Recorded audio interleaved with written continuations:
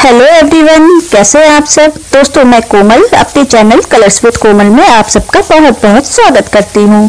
दोस्तों, आजकल तो लंबे बाल होना एक सपना सा हो गया है। यहाँ तक के बाल इतने टूट रहे हैं कि गंजेपन की नौबत आ गई है। चाहे मेल हो या फीमेल हर कोई अपने टूटते झटते बालों से बहुत ही परेशान है। कारण तो बहुत सारे है इसके, लेकिन आज मैं आपको एक ऐसा सिंपल तरीका बताऊँगी जिससे आपके बाल टूटना तो बिल्कुल ही बंद हो जाएँगे।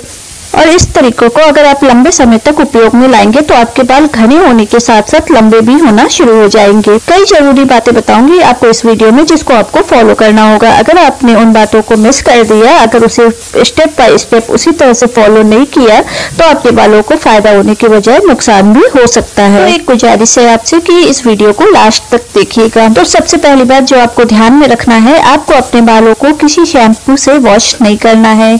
बाल धोने के लिए आप या तो मुल्तानी मिट्टी या बेसन का इस्तेमाल कर सकते हैं। को एज ए शैम्पू आप कैसे उपयोग में ला सकते हैं डिस्क्रिप्शन बॉक्स में मैंने इसका लिंक दे रखा है आप वहाँ से उस वीडियो को देख सकते हैं। दूसरी ध्यान देने वाली बात यह है कि आप अपने बालों को जब वॉश करने जा रहे हैं उससे पहले आपको एक एलोवेरा के पत्तियों को कट कर लेना है।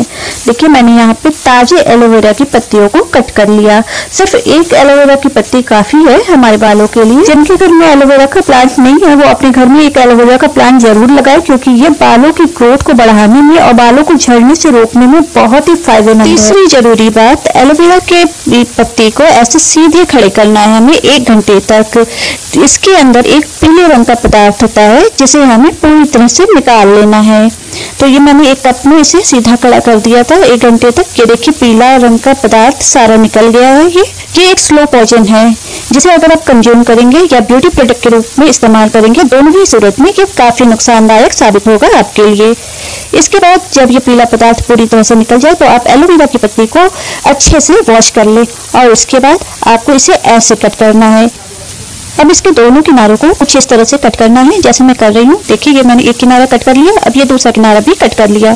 अब मैं इसे कुछ इस तरह से कट करूँगी। इसके अंदर जेल भरा होता है, उस जेल को ही हमें लेना है। तो अब इसके अंदर जो जेल भरा है, उसे हम निकाल लेंगे। कुछ इस तरह से, देखिए, इस जेल को ही हमें इकट्ठा करना है। तो इसे हम चम्मच की हेल्प से या अपने हाथों की हेल्प से इस जेल को हम पूरा निकाल लेंगे। तो देखिए, ये मैं नाइफ से ही इस जेल को पूरा निकाल ले रही हूँ। आप चाहे तो चम्मच की हेल्प से भी इसे पूरी तरह से निकाल सकते हैं। एलोवेरा हमारे स्किन और हेयर दोनों के लिए बहुत ही फ़ायदेमंद है। बसरते हमें इसे इस्तेमाल करने का तरीका पता होना चाहिए। नहीं तो हमें फ़ायदे के बजाय नुकसान भी पहुँच सकता है। मेरे इस तरीके से अगर आपके बाल बहुत अधिक झड़ रहे हो, अगर आप अपने स्कैल्प पर मसाज करते हैं और आपकी हथेलियाँ बालों से ढक जाती हैं तो आपको बहुत फ़ायदा मिलने वाला है। एलोवेरा की पत्तियों से जेल निकालने के बाद जो एलोवेरा की पत्तियाँ बच जाती है ना, उसे भी फेंकना नहीं चाहिए। उसे अपनी स्किन पर ऐसे रब कर लेना चाहिए, जिससे क्या होता है कि हमारी स्किन काफ़ी स्मूथ हो जाती है, काफ़ी ग्लोइंग हो जाती है, बहुत फ़ायदा पहुँचता है हमारी स्किन को। तो जब भी आप नहाने जाए इसके पत्तों को ऐसे अपनी पूरी बॉडी पे रब कर ले आपको साबुन की ज़रूरत ही नहीं पड़ेगी। ये देखिए हमारा जेल तैयार हो गया है। अब इसे क्या करना है मिक्सर जार में बस एक बार चलाना बस हल्की सी मिक्सी चलानी है आपको और ये पूरा लिक्विड फॉर्म में आ जाएगा। आपको बहुत अधिक तेज़ी से मिक्सी नहीं चलानी है अपनी। बहुत ही हल्की सी एक बार मिक्सी चलानी है और ये पूरा लिक्विड फॉर्म में आ जाएगा तो ये ध्यान देने वाली आयुर्वेद की किसी भी औषधि को स्टील के कम से कम संपर्क में लाना चाहिए। अगर हमें मिक्सर जार का उपयोग करना पड़ भी रहा है तो ये ध्यान रखना चाहिए कि हमारी, हमारा जार जो है, गर्म ना हो। मिक्सी हम ऐसे चलाए कि हमारा जार गर्म ना हो। ये देखिए हमारा एलोवेरा बस एक बार में ही इस तरह से लिक्विड फॉर्म में आ गया। हल्की सी मिक्सी चलाई थी मैंने और ये इस तरह के फॉर्म में आ गया। अब इसे ही हम अपने बालों में, बालों को धुलने के बाद लगाएँगे। यहाँ भी ध्यान देंगे, बालों को धुलने के बाद हमें इस एलोवेरा को अपने स्कैल्प पे लगाना है और मसाज करनी है। जब एलोवेरा सूख जाएगा तो आपको पता ही नहीं चलेगा कि आपने अपने बालों पे कुछ लगाया भी हुआ है। यहाँ एक और ध्यान देने वाली बात है एलोवेरा का जेल आप जैसे ही निकाले, वैसे ही आप अपने बालों पे इसे अपने स्कैल्प पर लगा ले। ये देखिए, ये भी एलोवेरा जेल है इसका रंग देखिए कितना मैला हो चुका है। इसे भी मैंने अपने बालों पे लगाने के लिए निकाला था, लेकिन क्या हुआ कि मैंने जब इसे निकाला, उसके बाद कुछ काम में बेचे हो गई और मैं इसे नहीं लगा पाई। तो इसे रखने से इसका रंग इतना मैला हो इस मैले एलोवेरा को अगर हमने अपने बालों पर लगाया तो हमारे बालों को फ़ायदा पहुँचने की जगह नुकसान पहुँच सकता है। क्योंकि ये बिल्कुल नेचुरल एलोवेरा है, इसमें कोई प्रिजर्वेटिव नहीं मिलाया गया, ये बहुत फ़ायदा करेगा हमारे और स्किन को।